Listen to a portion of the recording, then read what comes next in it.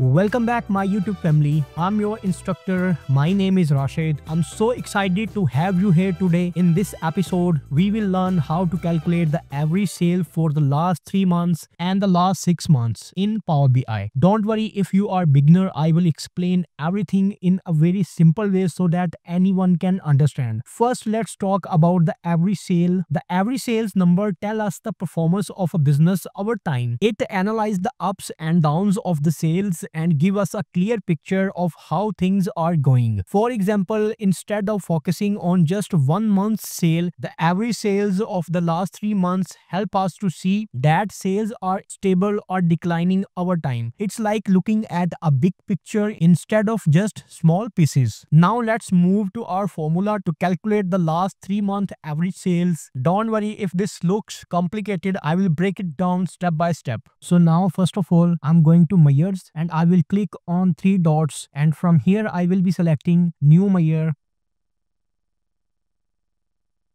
Then I'm going to type 3 month average sale is equal to, basically this is the name of the formula. First we define how many months we are looking at, where month is equal to 3. In this case, we are calculating for 3 months, so we set month is equal to 3. Next, we calculate the total sales for last 3 months using the dates in period function. And I will store this sales in this where 3 month sales.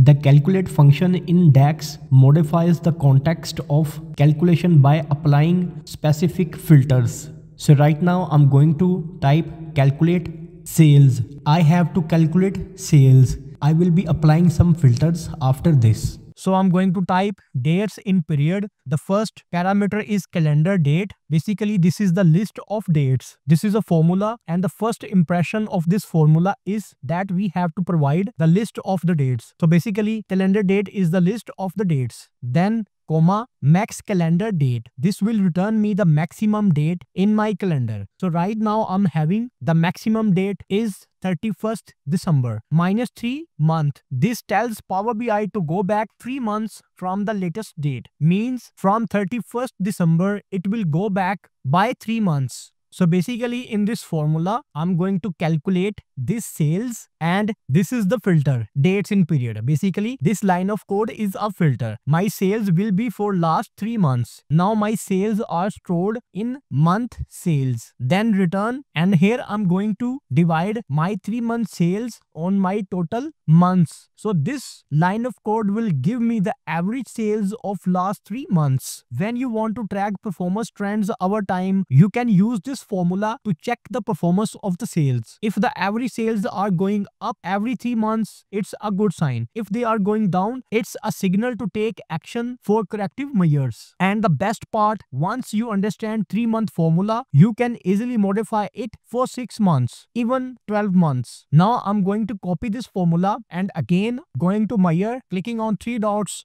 and going to open new measure and here I'm going to paste this formula and I'm going to replace this 3 month average sales with 6 month average sales. And I'm going to replace this minus 3 with minus 6 press enter giving me the average sales of last 6 months